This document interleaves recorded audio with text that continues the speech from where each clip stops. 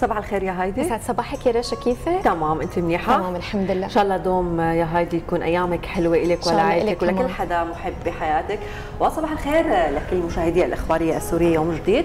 وبدايه جديدة وبدايه أسبوع جديد ودائما أمنياتنا لكم ولنا وحدة تكون جميع البدايات بحياتنا خير علينا. تحمل لنا كل الصحة وكل الغفران وجبران الخاطر. ودائما نكون حوالينا الناس اللي بنحبهم بحياتنا. الناس الإيجابيين دائما. مشوارنا الصباحي بلش معكم وكالعادة ضيفنا من مجالات مختلفة. وأكيد أخبار أهالينا بالمحافظات السورية ضمن التقارير. ودائما وابدا بنقول الرحمة لكل شهداء سوريا ولشهداء غزة والشفاء العاجل للجرحى. وأكيد كل التحية لأبطال المقاومة في غزة ولأبطال الجيش العربي السوري. يسعد صباحك يسعد صباحك من جديد يا رشا. وأكيد الصباح الأكبر لكم مشاهدينا من وين ما كنتوا عم تتابعونا. بيوم جديد وأسبوع جديد وكمان شهر جديد. إن شاء الله يكون هالشهر يحملكم كل الخير والصحة والرزق وراحة البال ويكون أفضل من الشهور يلي مرقت علينا.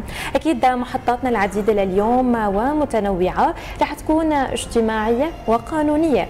ولكن مثل العادة مشاهدينا فاصل صغير وبنبلش وقبل ما نروح لنستقبل اولى ضيوفنا ونشوف أول تقاريرنا بحلقتنا لليوم ذاكرة الأيام والتواريخ المهمة بحياتنا. خلونا نشوفها ضمن حكاية يوم.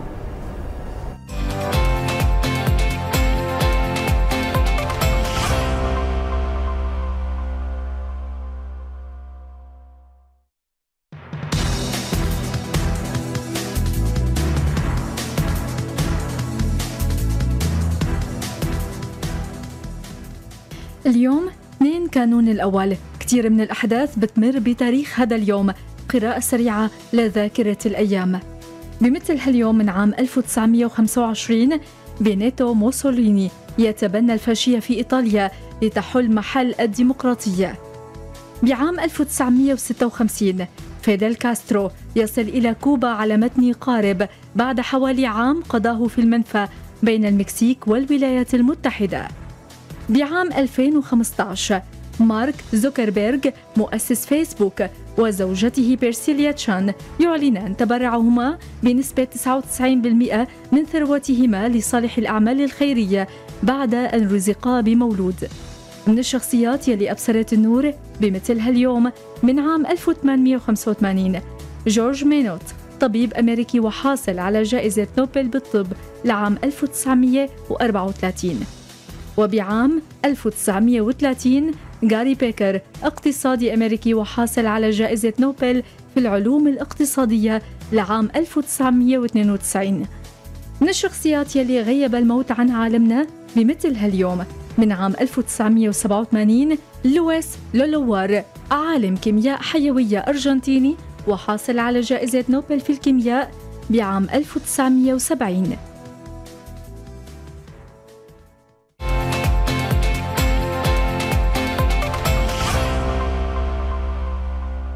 واكيد قبل ما نبدأ أولى فقراتنا ونستقبل أولى ضيوفنا لليوم خلونا نروح مباشرة لأولى تقاريرنا مع وسط حضور طلابي وأكاديمي لقاء حواري وتفاعلي مع الاديبه السوريه انيسه عبود بكلية الاداب والعلوم الإنسانية بجامعة تشرين باللاذقيه لتسليط الضوء على تجربتها الفكرية الغنية. خلونا نتابع سوا مشاهدينا تفاصيل بالمادة التالية.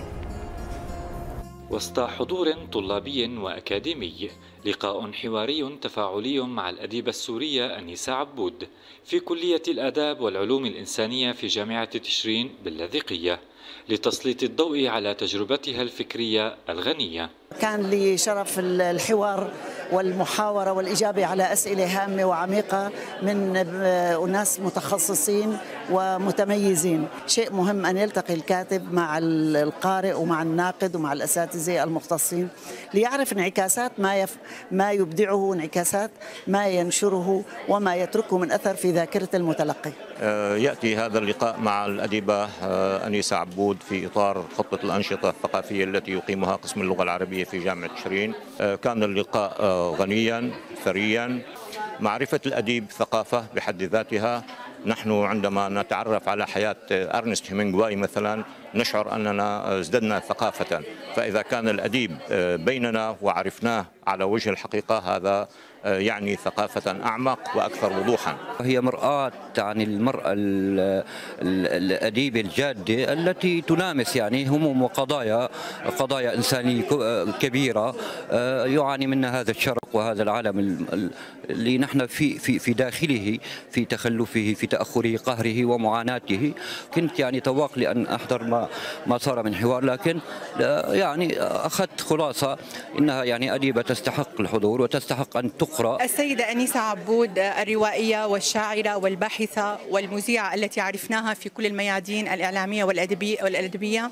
كانت حاضرة اليوم بقوة وجمال وبهاء في قسم اللغة العربية. كانت روايتها النعنع البري آه، إحدى المحطات البارزة التي جعلت القارئ يتلمس ذلك الحس الوطني والحس الاجتماعي الجميل لديها. أيضا ساحة مريم وروايات أخرى. هي قامة سورية ومسيرة عطاء تغني المكتبة الفكرية والأدبية لأعمال خالدة.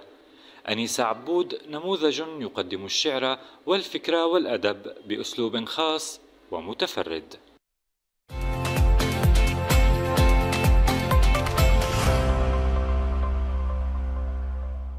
وأولى فقراتنا لليوم حنروح فيها لنحكي أكثر ونضوي على مؤتمر كوب 28 وبنرمز بالأحرف كوب إلى الأحرف الأولى من مؤتمر الأطراف وبنعني بكلمة الأطراف هي الدول والبلدان اللي وقعت على اتفاقية الأمم المتحدة للمناخ. طبعا أمس يا هايدي نهار الخميس استضافت الإمارات مؤتمر كوب 28 في اتفاقية الأمم المتحدة الإطارية بشأن تغيير المناخ. طبعا هذا المؤتمر بيهدف لتسريع وتيرة الانتقال للطاقات النظيفة. أكيد وكمان بيهدف المؤتمر لتوحيد الجهود العالمية وتحديد فرص التعاون لإيجاد حلول للتحديات المناخية.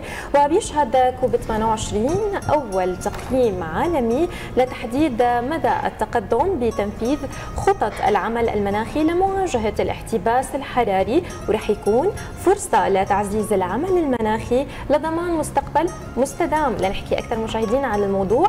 بسعدنا أنه تكون معنا لليوم الباحثة الاقتصادية والخبيرة بالتنمية المستدامة ريما طليعة يسعد صباحك. أهلا وسهلا فيك ريما. صباح الخير. يسعد صباحك.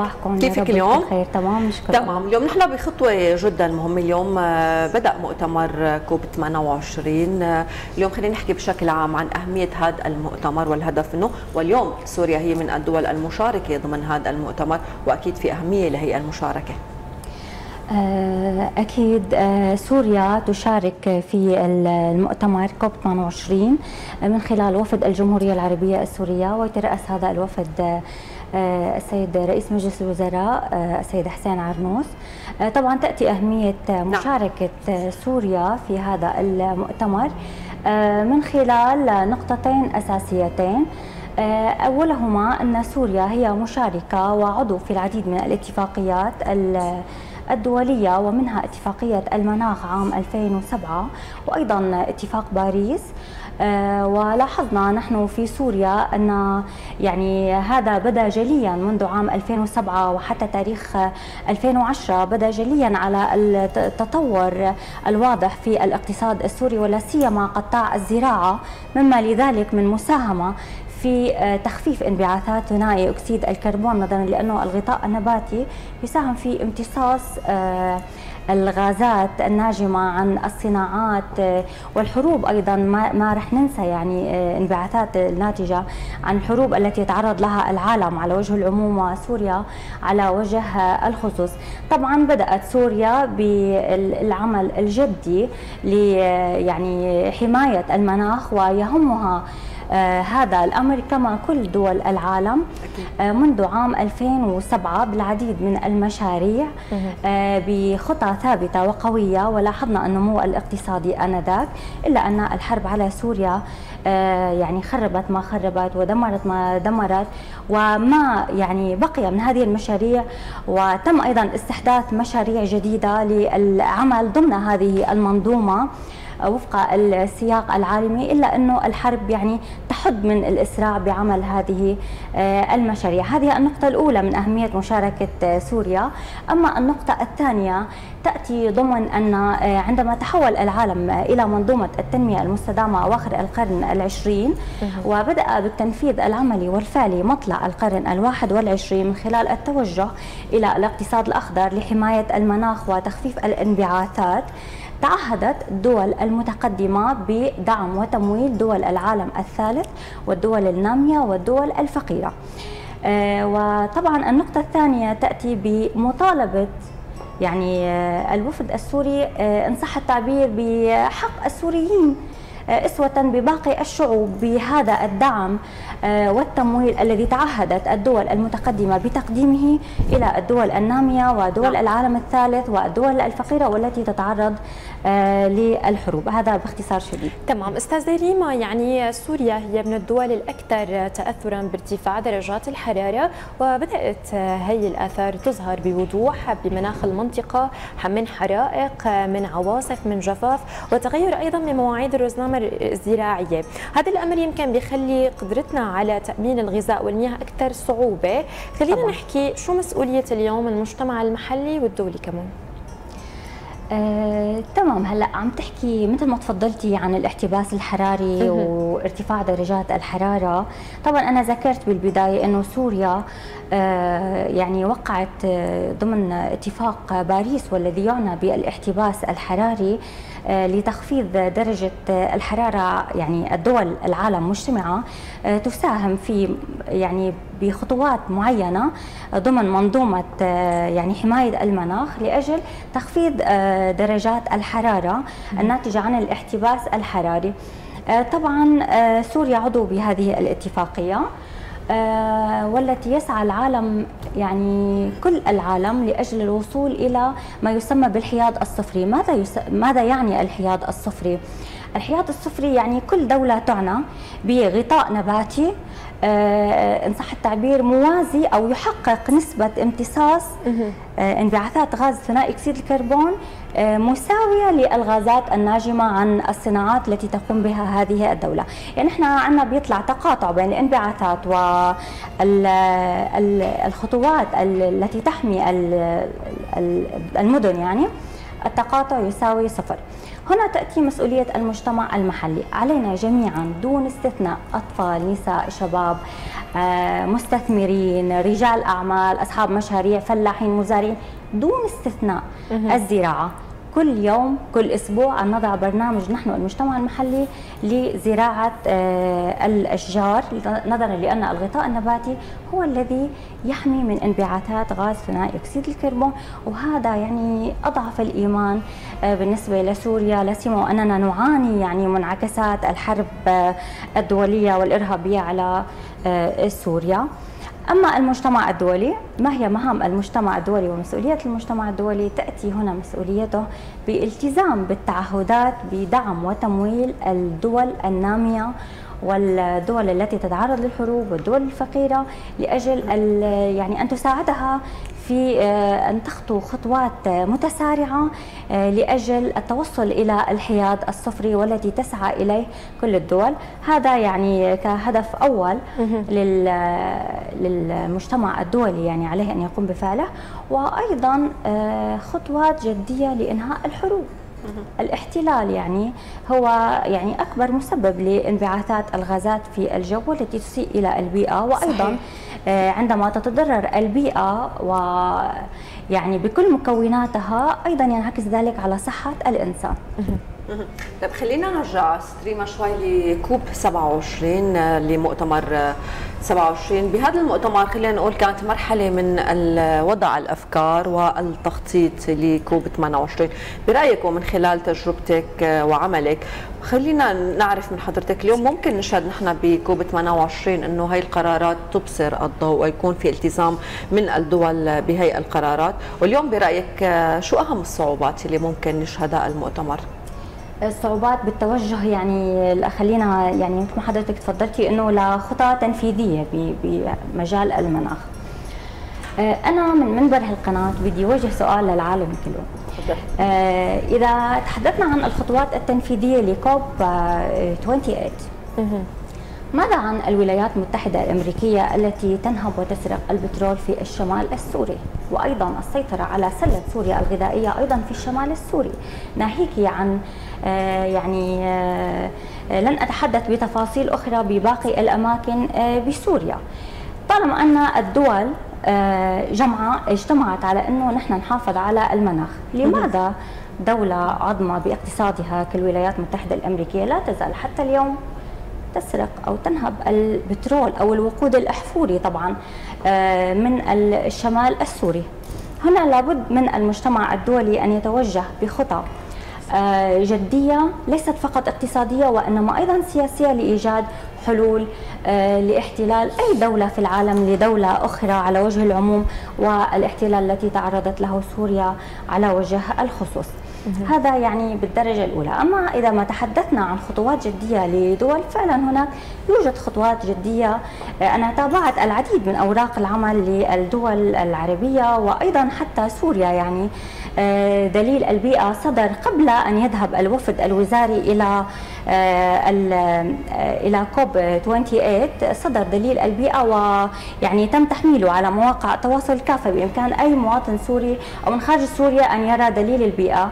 فيه بالتفصيل الممل ما تعرضت له سوريا من آه، من عمليات تخريب وتدمير لبنى تحتية وأيضا من مشاريع لا تزال قائمة حتى اليوم وتسعى الحكومة جاهدة للعمل بها وتطويرها وتنميتها رغم الإمكانيات البسيطة. طيب خلينا نحكي المكونات البصرية. طبعا أنا بس عفوا عفوا آه، بدي أتشكر يعني دولة الإمارات العربية المتحدة يلي عم تستضيف كوب 28 وأيضا كمان أعلنت عن آه، يعني كخطوات جدية تنفيذية بكوب 28 أعلنت عن صندوق حلول مناخية منذ الساعات الأولى للمؤتمر. وأيضا آه، كان في مبادرة كثير حلوة اللي هي غرس الإمارات. طبعا هي ضمن خطة الإمارات بزراعة مليون شجرة واللي بيساهم فيها كل المجتمع في الإمارات حكومي وخاص وقطاع ثالث. أيضا هي قدمت يعني آه، كنوع من الهدية المعنوية لكل زائر في هذا المؤتمر عشر آه، غراس. يعني كحافز للتشجيع على صحيح الغراس الغرسه ست ريما؟ هلا هي بالإمارات يعني هي خلينا نعتبرها ك يعني شيء معنوي يعني مم. تحفيز إنه آه، كل زائر يحمل هاي الذكرى الحلوة وينفذها ببلده يعني آه، أعتقد يعني هذا هو المقصد من أكيد. هذه الهديه جدا مهمة. وخطوة جدا جميلة ورائعة. أكيد. ما عم نحكي عن المكونات البصرية للشعار تسليط الضوء على العلاقة آه، بين الإنسان والطبيعة والتكنولوجيا والابتكار. طيب كيف نحن اليوم ممكن نفعل هي العناصر بإعمار سوريا؟ آه، تمام. آه، الإنسانية. هي عنصر جدا هام. إذا بدنا نحكي نحن هلأ بهي العناصر فقط عن سوريا رح أحكي. آه، الإنسانية هي عنصر أو آه، شعور جدا هام. حتى نتماسك أكثر نتكاتف أكثر نتصالح نتسامح نرجع نعمل إيد وحدة. كل المساحات السورية بكل محافظاتها وكل أريافها حتى نحافظ على سوريا واحدة موحدة ونعيد بنائها. مو مثل ما كانت بال 2010 لا كمان أحسن. وفق هي الخطوات الحديثة التي يتجه إليها العالم. هذا بالنسبة للانسانيه نعم. بالنسبة للطبيعة أنا بأكد دائما إنه صحتنا نحن من صحة الطبيعة وصحة الطبيعة من وعينا نحن بالتعامل مع الطبيعة. واجبنا تجاهها اليوم بأضعف الإيمان وضمن هي الظروف الصعبة اللي عم نعيشها إنه آه نزرعها. يعني ما نخلي مساحة غير مزروعة. لا سيما إنه بعض الدول توجهت للغطاء الأخضر الكلي يعني حتى البرندات بالبيوت الصغيرة والأبنية آه، كانت واجهاتها كلها خضراء. آه، أما موضوع بدنا نحن بالترتيب يعني نحافظ عليهم. الإنسانية الطبيعة والتكنولوجيا. اليوم الشباب هم, هم خير من يعمل بالتكنولوجيا وينفذ الخطوات الحديثة آه، العالمية ببصمة سورية آه، بواسطة التكنولوجيا حتى نحصل على إنتاجية أعلى. يأتي الابتكار. ابتكار دائما هو الأداة يلي بتخلينا نفعل آه، هذا المزيج يلي هو الإنسانية والطبيعة والتكنولوجيا. حتى نحن نصنع تقدم ببصمة سورية. يعني مم. كل دولة حسب ظروفها حسب خصوصيتها حسب الصعوبات اللي عم بتواجهها حسب مواردها إذا كانت متوفرة آه، كثيرا أو غير متوفرة متاحة أو غير متاحة. والموارد طبعا هي موارد بشرية وموارد مادية. كل هذا يشكل آه، مزيج وعناصر ممكن نحن من خلال الابتكار ودعم الإبداع والابتكار من خلال هاي العناصر نبتكر حلول لا يعني يكون عندنا سوريا غير وبدءا من اليوم. أكيد. طيب آه، ريما خلينا نروح شوي للجمعيات الخيرية وال أي جهة خلينا نقول أهلية مهتمة بالنظام البيئي والموازنة البيئية. واليوم نحن شفنا عندنا تجارب في سوريا أيضا نعم. آه، بتروح ل 1000 غرسة. وعم نشوف هن جمعيات خيرية بيروحوا. يعني دائما نحن متعودين على الدعم المادي على الدعم السلل الغذائية. ولكن هي جمعية كانت مختصة آه، بالغرس بدعم الغطاء النباتي. اليوم شو أهمية؟ أهمية مشاركة هي الجمعيات ضمن مؤتمر أطراف؟ طبعا هذه جمعيات آه، مشاركتها جدا هامة تدل على الفكر الراقي والفكر الإنساني والفكر التي يعني يواكب كل التطورات التي من شأنها آه، حماية البيئة والمناخ والارتقاء بسوريا نحو الأفضل. يعني هيك جمعيات هي تعتبر جمعيات آه، صديقة للبيئة وتمثل سوريا أيضا في المجتمع العالمي. وإن دل على شيء إنما هو يدل على رقي السوري وتجدد السوري دائما أينما كان وأينما وجد طيب خلينا نحكي عن أهمية الاقتصاد البيئي أو الاقتصاد الأخضر للحد من الآثار السلبية للتغيرات المناخية اللي ممكن تهدد المستقبل. آه، الاقتصاد الأخضر هو توجه عالمي. آه، بيساهم الاقتصاد الأخضر بتخفيف انبعاثات ثاني أكسيد الكربون والغازات. وأيضا يؤدي إلى الوصول إلى الحياد الصفري. يعني نحن اليوم بسوريا إذا بنشتغل كلنا إيد وحدة آه ويعني حتى يكون في عندنا كل الأراضي مغطاة وخضراء نحن يعني وفي ظل انخفاض الصناعة بسبب هذه الحرب على سوريا نستطيع ربما نستطيع أنا لن أجزم ربما نستطيع الوصول إلى الحياد الصفري. الحياد الصفري اليوم كل الدول تسعى للتوصل إليه لأنه هو يعني معيار وأساس لتقدم الدولة. بالرغم بالرغم من آه، يعني حجم الدمار الهائل الذي سببه الإرهاب وما تسببه أيضا هذه الحرب آه، على سوريا وأيضا الدول المجاورة يعني لا ننسى نحن فلسطين يعني وما يحدث في لبنان. كل هذه الانبعاثات تؤثر على المنطقة على حد سواء. علما أنه آه، حقيقة المسؤول الأساسي عن انبعاثات آه، ثنائي أكسيد الكربون وتلوث الجو آه، هو الدول التي تملك الصناعات الكبرى والعظمى. الوطن العربي هو مسؤول بنسبة يعني تقريبا 5% عن انبعاثات ثاني أكسيد الكربون وتلوث الطبيعة إلا أنه المنطقة الأكثر تضررا من تغيرات المناخ والانبعاثات الغازات في الأجواء. طبعا نحن يعني بنأكد بموضوع الاقتصاد الأخضر. يعني يعني على كل الدول أنه تلتزم بوعودها وتعهداتها للدول النامية والدول العالم الثالث بأنه هي تدعمها وتمول وتمولهم يعني تمول مشاريعهم لأنه آه، المسؤول الأكبر عن هذا نعم. هي الدول ذات الصناعات الكبرى والتي تنفذ الحروب والاحتلال طيب ست ريما بالدقيقة الأخيرة. خلينا نروح آه، نشوف نحن دائما آه، في أهمية لزيادة الوعي والثقافة بتعريف بالنظام البيئي بالمناخ. واليوم قد إيه مهم نحن آه، نعرف كيف نحافظ عليه. حسب دراسات نحن مقبلين على صيف 2024 يعني العالم ما شهدته بالحرارة. حسب دراسات العالم؟ ارتفاع درجات الحراره ب 2024 بسبب الاحتباس الحراري. تمام. خلينا نحكي اليوم أهمية التوعية وأهمية الكورسات للناس اليوم للحفاظ على هذا النظام البيئي. تمام. هلا نحن عم نشهد كثير يعني كثير بمجال التدريب عندنا بسوريا في نشاط بمجال التنمية بمجال الإدارة الاقتصاد لكن بالمجال البيئي والاقتصاد الأخضر يعني أنا بتشكرك عن جد على هي السؤال وهي اللفتة. نحن ما عم نشهد كثير دورات تدريبية وكورسات بمجال تنمية الاقتصاد الأخضر والبيئة. علما إنه الاقتصاد الأخضر يعني آه، كثير فيه مشاريع ممكن إنه يساهم فيها. آه، القطاع الثالث أنا يمكن ذكرت كمان بحلقة على الإخبارية السورية الأسبوع الماضي حكينا إنه عندنا كثير مشاريع مثل آه يعني مثلا الفنادق الخضراء آه الفنادق الريفية السياحة البيئية أيضا آه، الزراعة اللي ممكن تنفذها جمعيات. كثير هاي القصص اليوم بحاجة إنه تتوجه جمعيات للتدريب على هذا الموضوع. أيضا وسائل الإعلام يعني يعني إعلام كثير كبير اعلامي اليوم لازم تماما يوجه جزء كثير كبير من إعلامنا باتجاه المجتمع المحلي لأنه هو له دور كثير كبير بهيدا آه، الموضوع.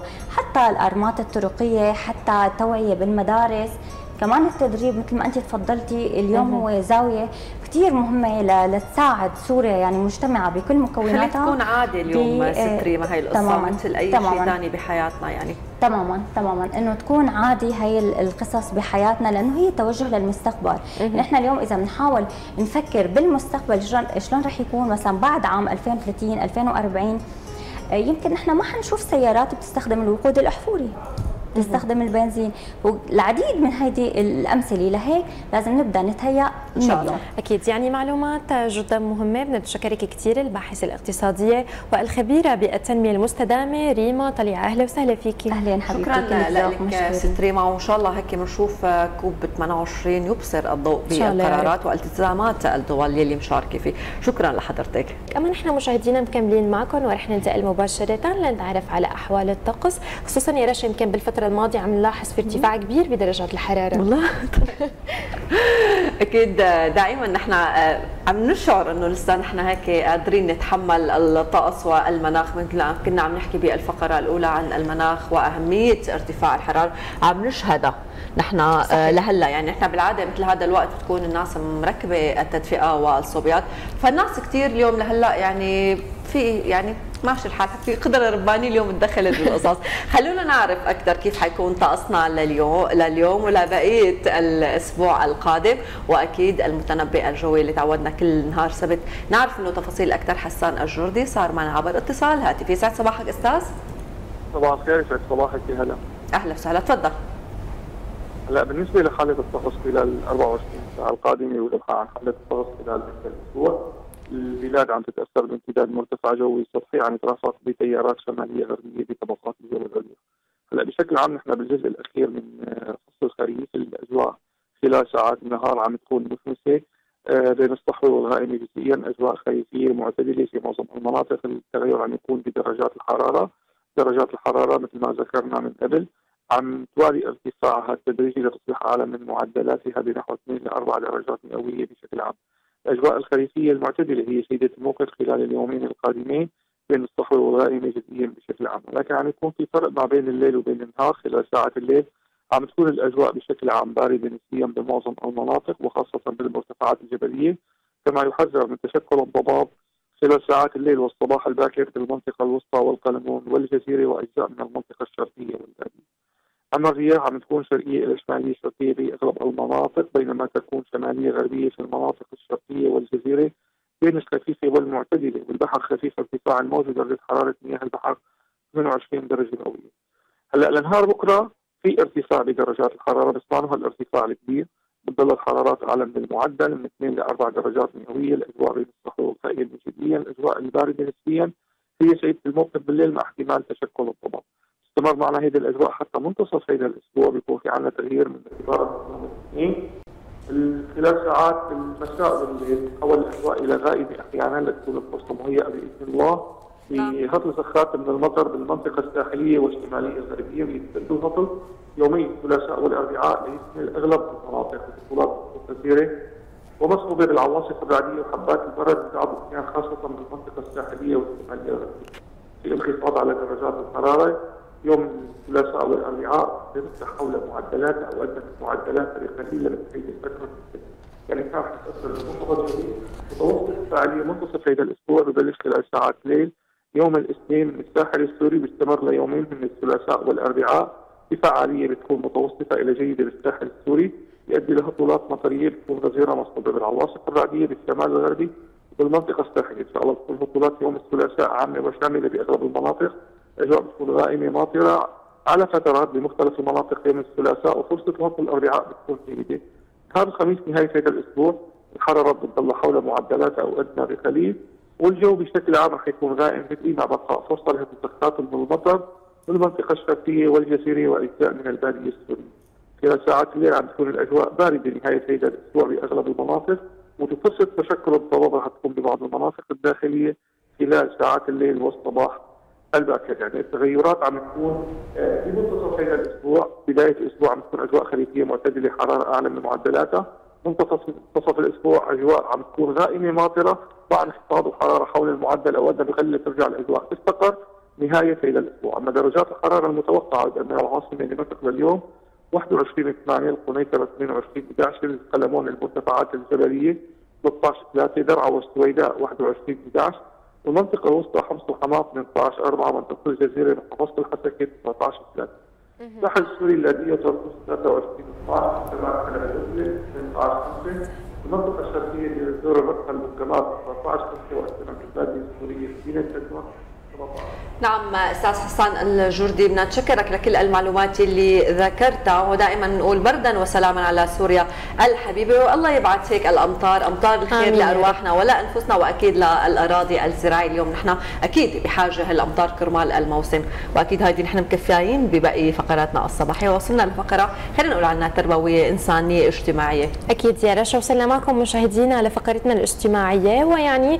الثالث من ديسمبر يعني بكرة بيستضيف اليوم العالمي لذوي الإعاقة.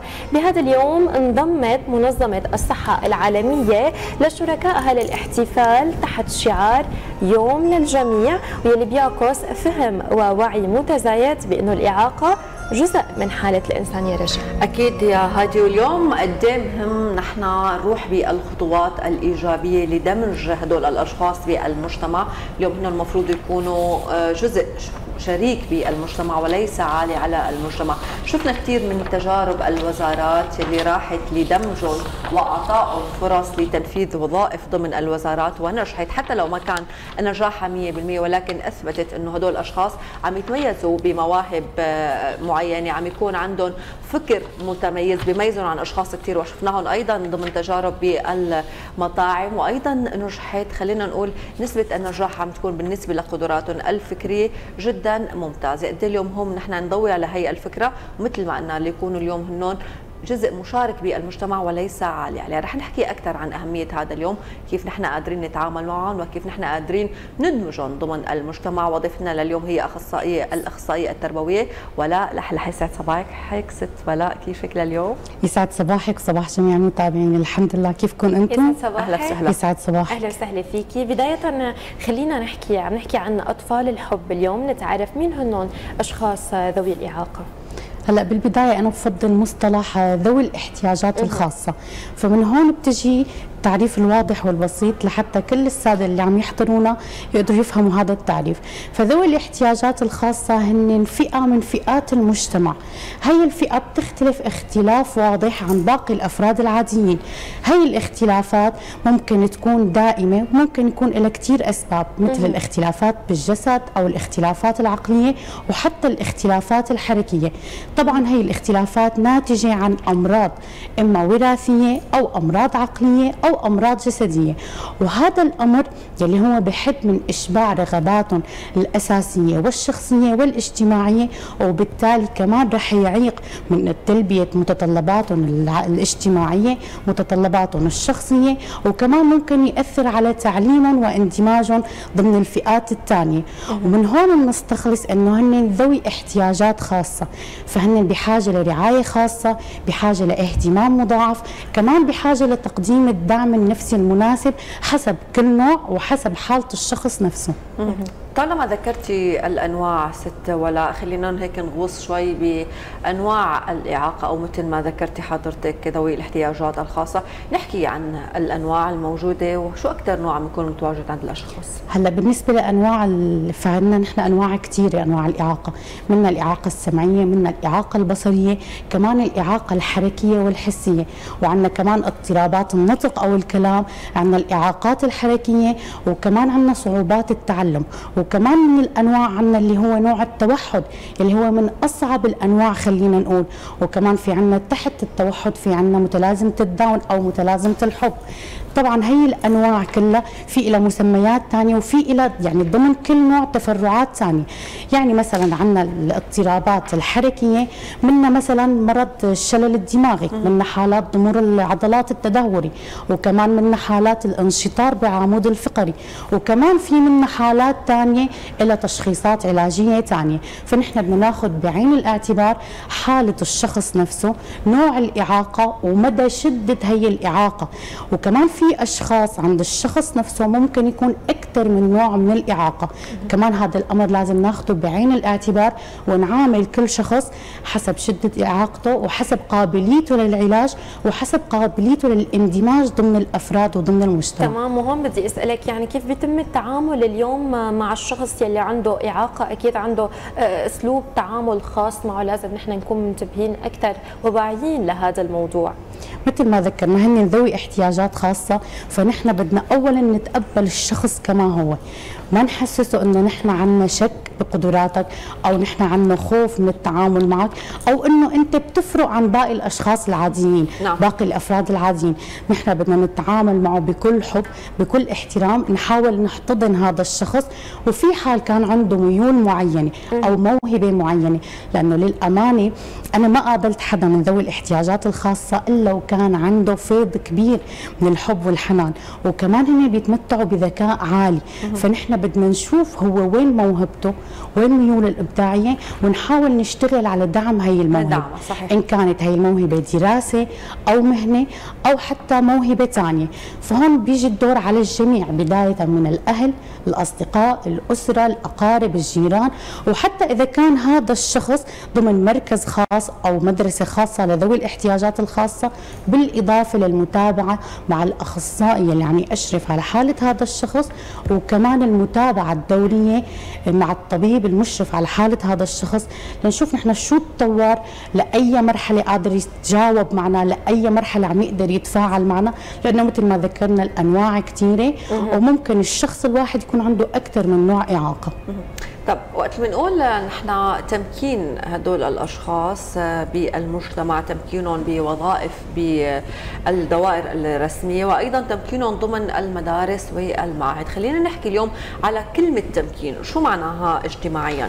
هلا بالنسبة للتمكين الاجتماعي فنحن بدنا نتعامل مع الأشخاص ذوي الاحتياجات الخاصة إنه نساعدهم على إنه يتفهموا الأمور نقوي المهارات يلي عندهم لحتى هن يقدروا يندمجوا وينخرطوا ضمن المجتمع أو ضمن الفئة الاجتماعية القريبة من عمرهم. هذا الأمر بيساعدهم إنهم يندمجوا بطريقة أسهل وكمان بيمكنهم من إنه يتعاملوا مع الأنشطة ويشاركوا بالمهارات ويشاركوا بالأنشطة المختلفة. فهون بيجي دور الأهل دور الأخصائي دور المراكز الخاصة أنه يتقبلوا هذا الشخص ويشتغلوا على وضعه الحالي على وضعه المرضي على نوع الإعاقة كمان على وضعه النفسي. يعني أهم الطرق للتمكين الاجتماعي اللي هي تعزيز الثقة بالنفس. فرضا أنا اليوم عم أتعامل مع شخص من ذوي الاحتياجات الخاصة فبدي أحط ببالي بدي آخذ بعين الاعتبار إنه هذا الشخص كمان عنده مشاعر كمان عنده أحاسيس. هو مثله مثلي. فأنا كل ما عززت ثقته بنفسه كل ما حسسته إنه أنت أنجزت ممكن عن طريق السقفه إذا كان طفل ممكن عن طريق المكافأة. هي نحن عم نحكي إذا كان طفل. أما إذا كان شخص عادي فنحن بنعزز ثقته بنفسه. ممكن بعض العبارات التحفيزية والإيجابية الدعم النفسي. كمان عندنا من الطرق الثانية اللي هي البيئة المناسبة البيئة الإيجابية المناسبة. إذا كان هذا الشخص من ذوي الاحتياجات الخاصة عايش ببيئة إيجابية ببيئة متقبلة ببيئة متأقلمة مع وضعه مع مرضه مع نوع اعاقته فهذا الأمر رح ينعكس على نفسيته. يعني نحن بطبيعتنا كبشر إذا حدا فينا بيكون شوي مرضان شوي تعبان فبتحسي حالك إنه حتى على شغلك ادائك ما مثل العادة. حتى ضمن تعاملك مع أسرتك بالعمل بيكون في عندك مالك أنت كثير رضيانة عن هذا الأداء. فما بالكم نحن عم نتعامل مع ذوي احتياجات خاصة. فالبيئة الإيجابية المناسبة كثير لها دور أساسي ومهم. على المشاعر والحالة النفسية لهذا الشخص. كمان عندنا الطريقة الثالثة يلي هي إنه نكتسب نخليه يكتسب خبرات جديدة مهارات جديدة ممكن موهبة ممكن يكون يعني فرضا هذا الشخص من ذوي الاحتياجات الخاصة. والمشكلة إذا كان موظف. أو إذا كان عنده موهبة الرسم أو موهبة الكتابة ممكن يكون أديب ممكن يكون شاعر ممكن يكون بيتمتع بأي موهبة مثلا من الأعمال الحرفية.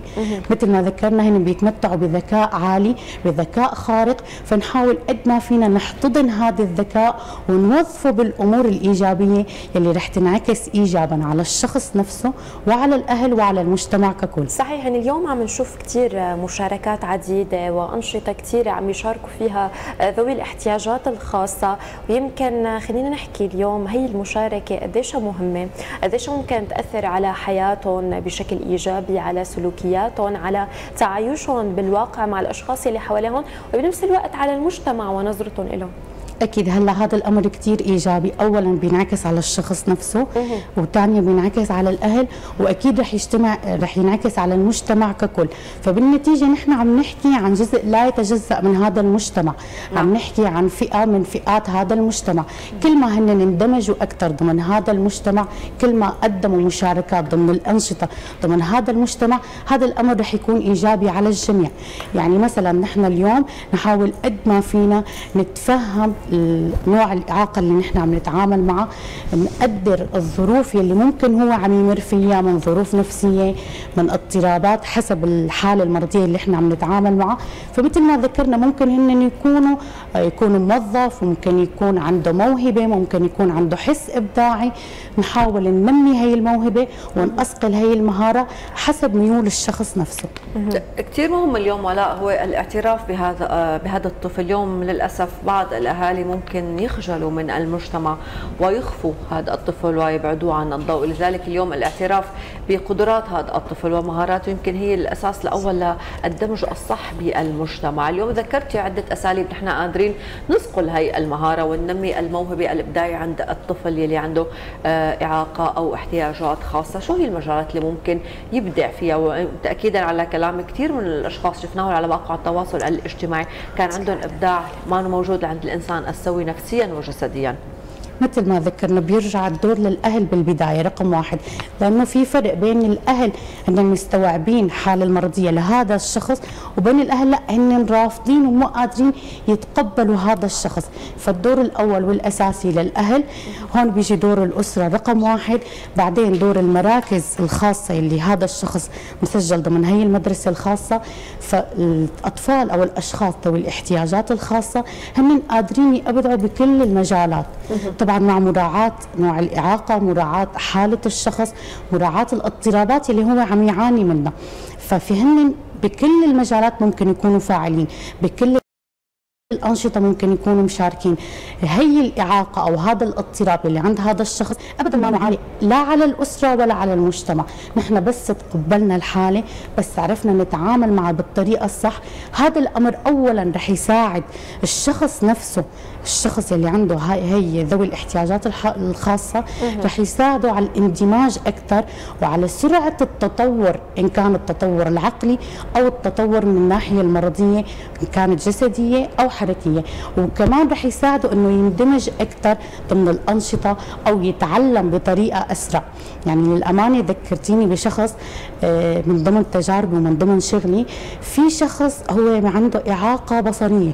يعني هو شخص ابدا ابدا ما بيشوف. ومع هيك هو بيتمتع بموهبة كثير عالية. موهبته هي إنه يجيب القش ينقع هذا القش ويعمل منه أشكال. ممكن سلة ممكن صندوق. يعني القش هو بيكون كثير قاسي. يعني نحن الأشخاص السويين الله يلي ما عندنا تمام. الله حرم البصر لكن وهب البصيرة. نرجع بنذكر إنه هن بيتمتعوا بذكاء كثير عالي. بيكون عندهم قدرات إبداعية كثير عالية. بس نحن لازم نسلط الضوء ونأصقل هي المهارة لتظهر بالشكل الصحيح والمناسب. وقديش كمان مهم اليوم نساعد هي الفئة من المجتمع لتطلع من عزلتها وتثبت إمكانياتها بمختلف مجالات الحياة. هلا خلينا بالبداية متفقين إنه. هذا الشخص هو مثله مثلنا هو ما بيفرق ابدا عن باقي الأشخاص العاديين. هن فئة من فئات المجتمع بالتالي هن ما عم يتجزأوا عن هذا المجتمع. تمام. فهون الدور اولا على الأهل ثانيا على البيئة المحيطة وكمان على المدرسة أو المركز الخاص اللي هو هذا الشخص موجود ضمنه وكمان دور الأخصائي. الأخصائي اللي عم يتابع حالة هذا الشخص له دور كثير كبير. بس بنرجع بالدور الأول والأساسي الأهل. فالأهل هم المؤثر الأول على الأشخاص إن كان الشخص من ذوي الاحتياجات الخاصة أو شخص عادي وسوي. فالأهل هم اما بخلوا هذا الشخص يتجه باتجاه العزلة. آه، يزيدوا حالته النفسية سوء يزيدوا الإعاقة اللي عنده يزيدوا التخلف العقلي اللي عنده أو هن بينشلوه من هي المحنة من هذا المرض اللي هو فيه وبيطلعوا منه شخص مبدع وشخص ناجح وفاعل ضمن هذا المجتمع. طيب بنهاية فقرتنا اسطول خلينا نروح هيك لنصائح لكل حدا اليوم عم يشوفنا وبهمه اليوم يعرف الطرق الصحيحة للتعامل وطريقة الدمج بالمجتمع. هلأ نصيحة للأسف يعني نحن عم نشوف بمجتمعنا حالة التنمر إن كان للأشخاص العاديين أو للأشخاص ذوي الاحتياجات الخاصة. فأنا بوجه نصيحة لكل الأشخاص اللي عم يشاهدونا إنه نحاول نبعد قد ما فينا عن التنمر. لأنه للأسف التنمر ظاهرة منتشرة. فنحن نبلش من عائلتنا الصغيرة لنبلش لنوصل لعائلتنا الكبيرة نحد من ظاهرة التنمر ونحاول نبعد عنها نعلم أبنائنا نعلم تلاميذنا نعلم أطفالنا إنهم يبعدوا عن ظاهرة التنمر. وناخذ بعين الاعتبار إنه الأشخاص ذوي الاحتياجات الخاصة هن اشخاص مثلهم مثلنا ما بيفرقوا عننا بشيء بالعكس ربنا خصهم بالذكاء الخارق فنحاول نحاول قد ما فينا نحتضنهم ونقدم لهم كافة أشكال الدعم النفسي وحتى الدعم الملموس. يعني إذا أنا قادر ساعد شخص من أشخاص ذوي الاحتياجات الخاصة فرضا هذا الشخص بيمشي على العكازة فنحن ما نكون عبء عليه. لا ممكن امسك بإيده ممكن خليه يقطع الطريق. يعني نحاول قد ما فينا نكون تسهيل اليوم تسهيل حركته ودائما مثل ما قلتي ست ولاء التنمر بالمجتمع هو المشكلة الأولى. كان بالمدارس اليوم كثير نحن آه عندنا ثقة بالكادر المدرسي لدمج هدول الأطفال خاصة وتمكينهم اجتماعيا ودراسيا وثقافيا وعمليا. أكيد بنشكر حضورك لليوم ولكل المعلومات اللي ذكرتيها وأكيد إن لقاءات أخرى بصباحات ثانية وشكرا لكم يعطيكم ألف عافية. أكيد بالختام الاختصاصية التربوية ولاء لحرح يسعد صباحك واهلا وسهلا صباحك وصباح جميع المتابعين. أما هيدي نحن أكيد مكملين بباقي فقراتنا الصباحية وقبل ما نروح لآخر فقرة والفقرة القانونية. خلينا نكون ضمن تقرير أقيم في المركز الثقافي العربي في مدينة سلمية. معرض بعنوان براعم فنية للنحات العالمي علي فخور ومجموعة من اليافعين حيث ضم عددا من المنحوتات الرخامية ولوحات فنية أكثر. خلينا نكون بمعلومات أكثر ضمن التقرير التالي. أقيم في المركز الثقافي العربي في مدينة السلمية معرض فني بعنوان براعم فنية للنحات العالمي علي فخور ومجموعة من اليافعين حيث ضم المعرض عددا من النحت الرخامي ولوحات فنية. هو لمجموعة من الطلاب طلابي في جمعية قطرة أمل لرعاية الطفولة طبعا هذا المعرض هن طلاب لأول مرة بيقدموا لوحات آه، أكريليك على القماش. طبعا تم فحص سابقا بقلم الرصاص وتم تحويل من قلم الرصاص إلى الرسم على القماش. طبعا إلى مرحلة الفن التشكيلي تسمى مرحلة الفن التشكيلي. آه، بعد ذلك أنجزنا هذا المعرض. أحببنا أن ننمي مواهب الأطفال الفنية من خلال فن الرسم آه، ورعاية مواهبهم في التعبير عما آه، في داخلهم من مشاعر من أحاسيس. وأنا شاركت بهذا المعرض بخمس لوحات. بتتنوع بين فنين فن الطبيعة الصامتة وفن تجريد. بهالمعرض هذا شيء كثير حلو وراقي إنه تتبنى هيك مواهب ويتعبوا عليها ويعطوها يعني أهمية كبيرة بحيث يطلع هالإنجاز هذا كأطفال بعمر يافع يعني طلع معهم هالإنجاز هذا. بحب مادة الرسم كثير وهي أول مشاركة بمعرض. بشكر أستاذي كتير لأنه عم يدعمني ويشجعني لحتى أرسم لوحات بمادة الإكريليك. يأتي هذا المعرض لتطوير مواهب الأطفال في الرسم والفن وتنمية قدرات اليافعين على الإبداع من خلال الفن. محي الدين فهد للأخبارية السورية محافظة حماة.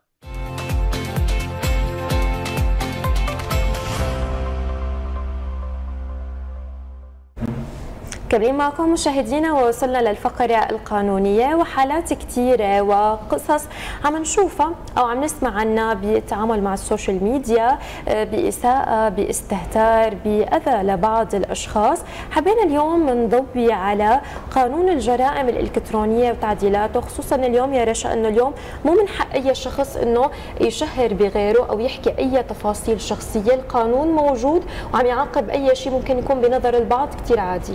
أكيد. أكيد هذه دائما نحن بنقول القانون وضع لحماية المواطن وأكيد اليوم المواطن المفروض يكون عنده ثقافة الوعي باستخدام هذا القانون، اليوم عم نحكي عن نقطة يمكن من سنوات كثير عم نضوي عليها ضمن صباحاتنا وضمن كثير آه، برامج على مواقع كثير إن كان تواصل اجتماعي أو شاشات، اليوم هذا خلينا نقول الابتزاز الشخصي، صحيح. الابتزاز العملي، سرقة البيانات، التشهير، هدول القصص كلها حمى القانون المواطن. المواطن منها. رح نتعرف أكثر على قانون الجريمة الإلكترونية. رح نحكي أكثر عن التعديلات القانونية اللي طرأت. وضيفتنا لليوم هي المحامية رشا إبراهيم. يسعد صباحك أستاذة رشا واهلا وسهلا بحضرتك. يسعد صباحكم يا رب. يسعد صباحك أستاذة. أهلا وسهلا فيكي. خلينا بالبداية نتعرف نحن والمشاهدين آه، شو بنقصد بالجريمة المعلوماتية آه، بالقانون السوري؟ الجريمة المعلوماتية هي مو من الجرائم الجديدة. هذا القانون رقم 17 لعام 2012 آه، عرف الجريمه المعلوماتية لكن إحنا نتيجة التطور التقني الحاصل وصار تطور التقني بشكل كثير كبير وانتشاره بسرعة كثير كبيرة. كان لابد من وجود قانون جديد. كشف الثغرات بالقانون القديم فعمل على إلغائه وعمل على تطبيق القانون الجديد قانون جديد سلط الضوء على أشكال من الجرميه جديدة على عبر الشبكة عبر وسائل التواصل الاجتماعي. فنحن مع التطور مع نعم. أي شيء نحن أي شيء بناخذه بالناحية الإيجابية بفيدنا كناحية إيجابية بالحياة العملية وخاصة نحن وسائل التواصل الاجتماعي أكثر شيء بيأثر فينا. يعني دائما نحن بنحس حالنا دائما كل شيء بنشوفه على النت بناخذ فيه أكثر من الواقع العملي. ليش عم نشوفه؟ بينتشر بسرعة قصوى. فهون قانون رقم 20 لعام 22 هو القانون الجريمة المعلوماتية الجديد. سلط الضوء على أشكال جرمية جديدة. كان وضع ضوابط للسلوك الإلكتروني وعرف الجريمة المعلوماتية هي الجرائم التي ترتكب بوسيلة إلكترونية تقع على منظومة معلوماتية بالإضافة إلى أي محتوى رقمي عبر الشبكة. طيب ذكرتي حضرتك إنه القانون الجديد كشف ثغرات بالقانون القديم وراح القانون لالغائه وإعطاء آه، قوانين أخرى، خلينا نحكي عن الفرق بين القانون القديم والجديد أو شو أهم الثغرات اللي تم الغائها؟ هلا كان عندنا ثلاث فوارق مهمة بين القانون القديم والقانون الجديد، القانون القديم آه، من ناحية أول شغلة التعريف، القانون القديم عرف الجريمة المعلوماتيه هي الجريمة التي ترتكب بوسيلة إلكترونية أو منظومة معلوماتية، بينما القانون الجديد رقم 20 لعام 22 عرفها بهي الجريمة التي ترتكب بوسيلة إلكترونية أو وسيلة معلوماتية تقع على منظومة معلوماتية أي جمع بين الوسيلة الإلكترونية ونظام المعلومات. تمام؟ ثاني آه شغلة بالنسبة للغرامات. الغرامات بالقانون القديم كانت كثير متدنية بينما زادت الغرامات بالقانون الجديد. فكانت أكثر وسيلة رادعة لحتى نحن نحط حد يعني نحن مع التكنولوجيا بشكل ما تصير مسيء لنا يعني ما يتحول الانتقاد إلى سلوك جرم. فكانت الغرامات ممكن أن تصل إلى 25 15 مليون ليرة سورية. ثالث شغلة هي نسبة الجرائم. كان يعني القانون الجديد فيه 21 مادة جرمية 12 ماده 12 جرم هون من أشكال الجرمية الجديدة نتيجة هذا التطور الحاصل. طيب خلينا نوضح أبرز الجرائم الحديثة بالقانون السوري الجديد. طبعا هي جرائم كثير كبيرة. فينا ننوه على بعض النقاط. كبيرة. كثير لأنه نحن كل ما انتشر أكثر لهيك عم نحن ما كثير عندنا ثقافة من ناحية يعني مو مو تعامل مع السوشيال ميديا والمواقع. تماما في عالم بتاخذها من ما بتاخذ الإيجابيات فيها بتاخذ السلبيات. فنحن لهيك بنصير أمام جريمة معلوماتية بتستخدمها لغايات يمكن مادية جسدية أو لأي غرض خلينا نوضح أكثر مثل شو هي الجرائم؟ أول شيء جريمة الدخول المشروع. تمام؟ آه تجاوز الحدود المشروع. آه يعني كيف مثلا موظف تمام؟ موظف بنك أو موظف بالمصرف عند عندهم حساب هذا المصرف يعني معه الباسورد تبع شغله. فهو نظام شغله له طبيعة معينة بيدخل على معلومات معينة. تمام؟ في حال تجاوز هاي المعلومات وشاف معلومات غير الشيء المخصص لشغله هون بيكون تجاوز الحدود المشروع هون بنكون أمام جريمة معلوماتية. تمام؟ أو مثلا نحن بنروح على محل موبايلات بنعطيه جوالنا بدنا نعمل صيانة. نحن بنعطيه ال password تبع الجوال. فلما بيت صاحب لما صاحب المحل بيتجاوز حدوده بجوالنا أو بياخذ ملفات أو بصور بدون رضانا تمام؟ نحن اعطيناه ال password بإرادتنا أو برضانا بس مو إنه ياخذ ملفات أو ينقل صور آه هون بشكل جرم معلوماتي. طبعا نحن دخول المشروع في عندنا آه عقوبة آه غرامة مالية من 300 ل 400 تشدد إذا كانت الجرم واقع على جهة مال آه، جهة عامة أو خاصة أو مشترك. تجاوز غير المشروع. نحن كثير بنشوفه هو الهجر. دائما بنشوف حساب يتهجر راح أو أي أي شيء بيصير إنه موقع موقع إلكتروني أو أنشأ صفحة. كثير هي عم نتعرض لها بأيامنا العادية. كمان كان لها عقوبة رادعة من الشهر لست شهور وغرامة مالية من 300 ل 400 طبعا أي شيء بتتشدد عقوبته إذا حصل على جهة عامة أو خاصة أو مشتركة. آه، هلأ الهجر كثير عم نشوفه دائما عم منتشر يمكن أكثر نقطة هي يعني. تماما وأثر بشكل سلبي يعني وخاصة على صفحات البنات الفكرة إنه دائما بينزل تعميم وبتنزل آه، منشورات آه، نبتعد عن موضوع الهكر إنه حدا بيحاكيكي من صفحة تماما. أو حدا من صفحة صديقك يعني. ودائما بترجع توقع بنفس الفخ. يعني في ناس كثير بعد يعني خلينا نقول انتشار المعلومات لطريقة الهكر عم يوقعوا فيها للأسف يعني. فلهيك ضوى القانون الجديد لضبط سلوك إلكتروني وفرض عقوبة رادعة مشان الحد من هذا الموضوع. ثاني شيء جريمة الانتهاك الخصوصية. طبعا إحنا أحيانا بنكون كنا حضرانين بحفلة بنتفاجئ حدا أخذ لنا صورة ونشر. لايحنا على الواقع هلا لو كانت الصورة صحيحة معاقب عليها القانون. كمان. طبعا من شهر لست شهور وغرامة ممكن خمس من 500 للمليون. كمان أحيانا نحن بنشوف خبر مرض فلان. لو كان الخبر صحيح هذا في انتهاك للخصوصية. طب إذا حدا مو كاتب الاسم الشخص بس حاطط معلومات عنه ممكن كمان كيف ممكن يثبت تماما. كيف ممكن يثبت إنه هذا الشيء ممكن يكون له أكيد لك كل فعل أكيد لما يعني لما الشخص أنا بدي أشوفه منزل post أكيد بيكون في له إشارة أو link معين. بتكون عامل لك إشارة.